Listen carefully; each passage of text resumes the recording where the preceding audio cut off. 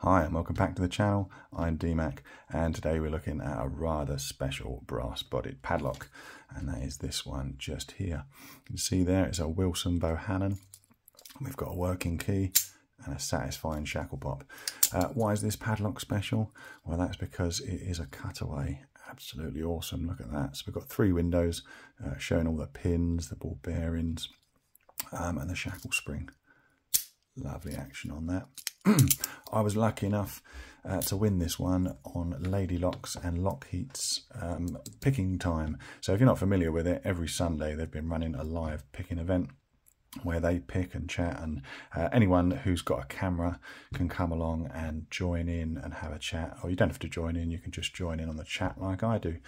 Um, but yeah every Sunday at 9 o'clock GMT time earlier in the States. Uh, so I'm going to leave a link to their channels down below so you can subscribe to that make sure you don't miss uh, next Sunday's live picking event.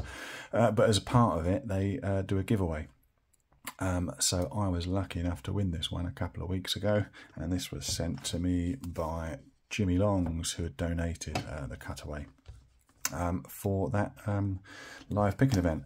So I think what would be nice with this one is to get him in the vise, get a real nice uh, close up there uh, and we can get it picked. I think it doesn't have any security pins in there, so we can pick it and rake it and uh, just have a bit of fun with it. So let's get them in the vise, get a nice close up and uh, get picking. So we've got them all set up in the vise now. And I think first of all, let's just have a look at that key working. Seeing those ball bearings retract and that shackle pop is always nice and then I think I'll go in with top of the keyway and a short hook and see if we can't single pin pick it.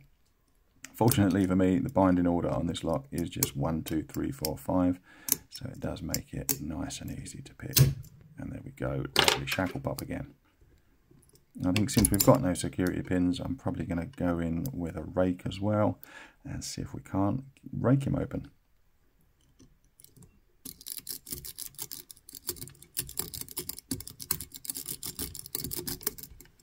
And there we go, we've got the open again. So not the most difficult padlock in the world, but sometimes uh, that makes it more fun. Well, I don't know about you, but I really enjoy some uh, nice padlock and picking ASMR, and I certainly got that from the close-up there. Really nice to play about with this lock, and it's a great one for the collection. So I just want to say thanks to Jimylongs for donating it to the Picking Time giveaway.